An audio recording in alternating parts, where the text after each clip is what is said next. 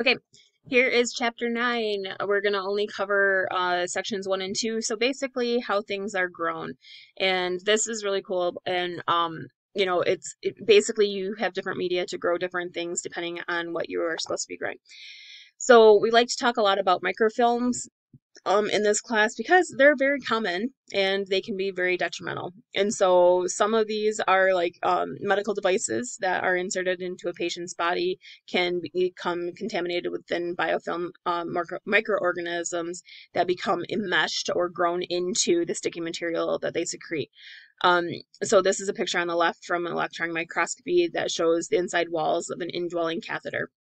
So this happens in catheters, shunts, um, you know, leads for wires for pacemaker defibrillators, um, any type of an implant, um, corneal implants, anything has the possibility of, of growing these. And so this is why things have to be very sterile and aseptic when uh, during surgery. And obviously the thing needs to be sterilized before it gets put into the body or else we'd have lots of problems. All right. And then um, these arrows are pointing to the round cells of Staph aureus bacteria that um, attach the layers of the extracellular substrate. And then over here on the garbage can smells like a great summer day in the swamp, right? So the garbage can served as a rain collector. Uh, the arrow points to the green biofilm that was grown on the sides of the container. I have horses, guys. So, I mean, this happens in horse troughs, cattle troughs, sheep's trough, anything, water, dog bowls, you know, things, leave it out in the hot sun and things grow, right? So biofilms are natural. Um, just we try to take care of them because if they um, go too long, they can obviously cause lots of problems. Um, so a little bit about how cells uh, replicate and divide. The electron micrograph on the left depicts two cells of Salmonella tryptophragmatum after binary fission. So binary, bi means two. Fission is um, things that are starting to fuse or or separate, right? And so binary fission, in this case, it's separate. So binary fission in bacteria starts with the replication of the DNA DNA as the cell gets longer. And then the division septum or divide, divide, divider division, right, is going to form in the center of the cell. And then the two daughter cells are going to branch off and they're going to be in similar size and form. And they're going to separate and they each receive a copy of the original chromosome. So again, as you can see, we have our original cell. It starts to duplicate inside. And then when the um, DNA information is done duplicating, then the cell um, kind of pinches off into two uh, identical daughter cells. So, um, FtsZ proteins uh, are going to assemble to form a Z ring that you can see here in the dotted line. And this Z ring is anchored to the plasma membrane. And the Z ring pinches the cell envelope um, to separate the cytoplasm of new cells. And so basically, as you can see here, it's kind of like, um, you know, if you guys have ever kneaded bread or made bread, you can pinch it off, or you can use a rubber band to put things in the middle and it causes two things to separate, right? So this is what that fits Z ring and that Z ring is going to do it basically grows in the middle and it's going to separate off the two cells um so that that septum or that divider can like grow in there and actually pick off and plunk and make two separate cells. Um so basically uh what this is showing is things double. So things are going to be in pretty much an even number right? So if you start with one cell in generation 0 when one doubles, it's going to become two cells at the end of generation one. And then at the end of generation two, those two cells are going to double and become four. Four will double, become eight. Eight doubles and become 16. So you can see that things grow very um, rapidly right? And so uh, each division divides the cell into two, and so that's is why it's um, two different cells.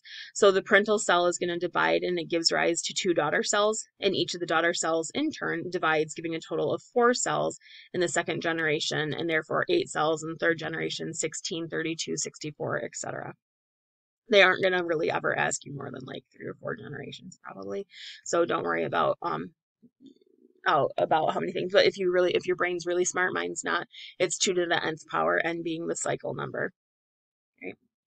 Okay, um, so growth curve of bacterial cultures is represented by this logarithmic number. Like we just talked about, things double in nature, and so it's going to be very logarithmic and it just takes off and grows. And then the graph can divide, be divided into four different phases according to how sharp the curve is. And so first off, we have the lag phase, which is basically the cells are gain, like ramping up to like get the nutrients they need to be able to duplicate.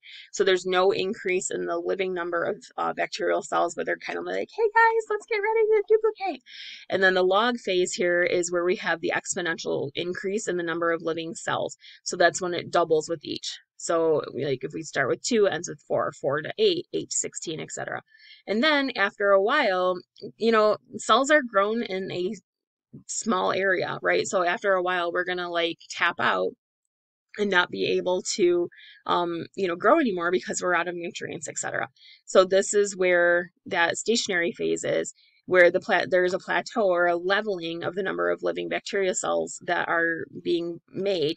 And so this is where the rate of cell division and cell death is roughly the same.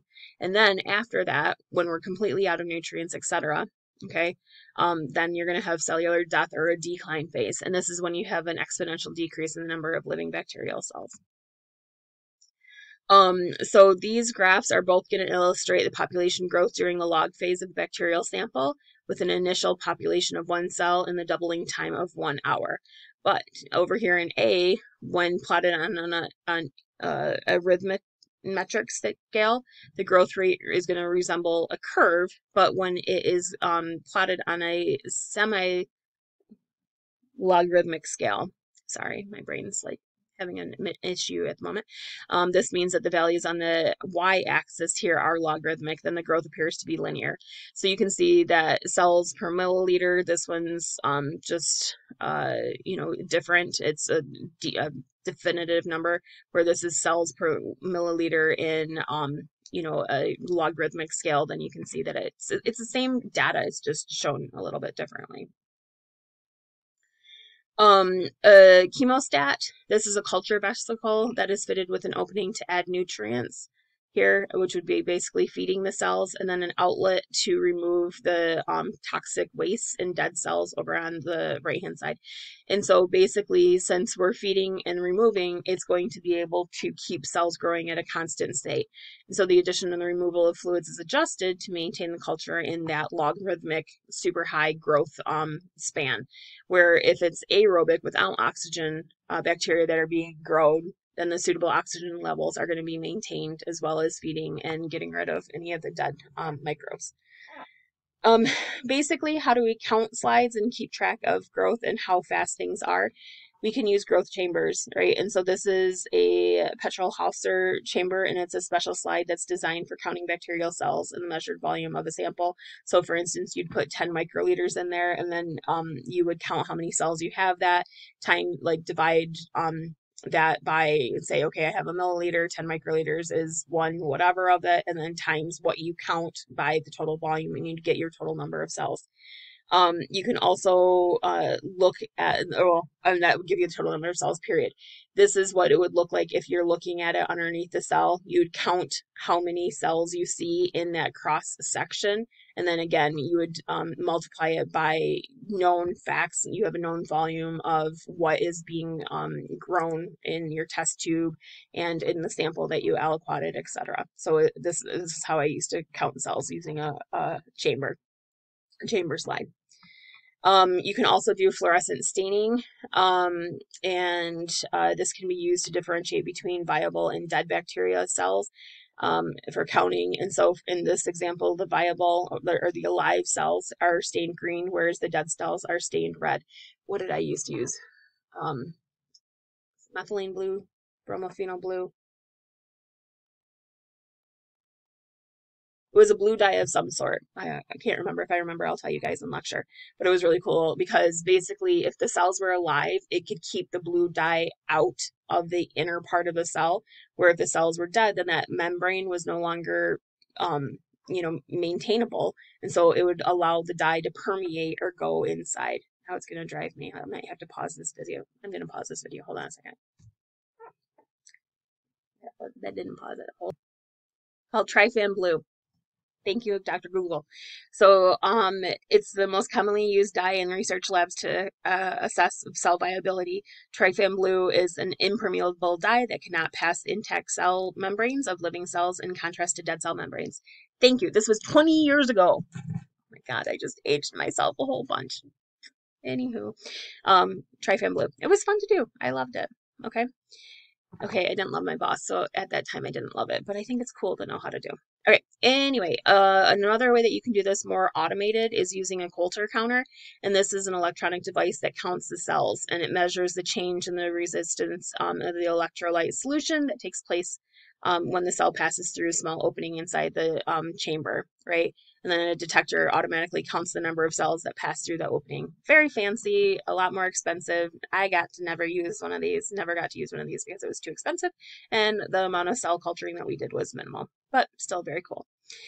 Um, so basically, um, another thing that we do want to talk about is serial dilutions. I do believe that we do one of these in labs. Uh, so basically, a serial dilution involves diluting a fixed volume of cells mixed with a dilution solution um, using the previous dilution as the inoculum or basically the supplier, right? And the result is going to be a dilution to the original culture by an exponentially uh, growth factor. So if we have one milliliter of original sample and we um, put it into a test tube with nine milliliters of broth, then it's a one to 10 dilution. If we take a mix that and take a milliliter and do that, then we um, now have a one to 100 different uh, dilution dilute it farther, this is a serial dilution, right? So dilute it farther, it's 1 to 1,000, 1 to 1, 10,000, 1 to 100,000. And you can see that basically it, it decreases the amount of cellular concentration so that we can actually count it and get a reliable result instead of just, oh wow, it's really turbid or murky. Um, plate pouring methods. Um, I don't think we get to do any of this in um, lab, but it's pretty cool to be able to do. So basically, you have a bacteria sample that's going to be mixed with the warm agar, and um, then the sample is poured onto a sterile plate, and then you use a hockey stick. It's literally called a hockey stick, uh, or you can sample, you can swirl it around to mix it and allow it to solidify, and then the plate is going to be incubated until the bacterial colonies um, grow. And so um, this is really cool because it can be re repeated for each serial dilution to get an accurate count of what's going on. Um, you can also do, oh, this is the hockey puck. This was the one that they just swirled it around, and this is the same type thing, of thing that I talked about, but you use the hockey puck to, um, to spread it out. And um, then this is the most probable number method, and this is the sets of um, five broth tubes are inoculated with three different volumes of pond water, and then the bacterial growth is assessed through the change in color of the broth from red to yellow as lactose is fermented. And we will be doing this in um, one of the labs because it's very cool that you get to be able to uh, see it and um, the fermentation and the difference in pHs, et cetera, from using phenylalanine, et cetera, or phenol. You can also use a spectrophotometer to measure the turbidity or the cloudiness of the sample. Remember, the more cloudy, the more cells that we have, the less cloudy or the less turbid, then we have not as much cell growth, right? So if you look very closely, unless that smudges on my computer, you can see um, you know that there aren't very many things that are growing in this sample where well i guess that's a detector so that doesn't make sense. But this one is clear so there's not many things growing in that where this one is very turbid. So there are a lot of microbes that are growing in that. And the last slide would be looking at this. Um, this uh, shows the replicate uh, replicate by fragmentation. So different types of um, replicating. So we talked about fusion, we talked about um, a couple different other ways, and then fragmentation is basically um, where something fragments off and then it starts and it regrows the whole thing. So here's another example where in this electron micrograph, the cells of Gemmata, um, I don't know, G-oba, we'll call it, are budding.